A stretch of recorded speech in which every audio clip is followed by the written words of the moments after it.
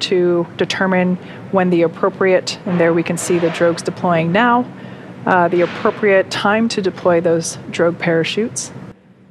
What a beautiful sight. As you can see on your screen, we have Dragon splashdown. SpaceX copy. See the same. We can see Dragon Endurance now being lifted out of the water using those hydraulic lifts.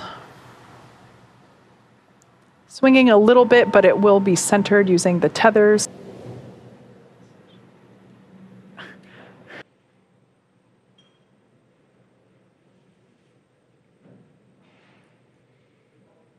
And Andy Mogensen now out of Crew 7 capsule.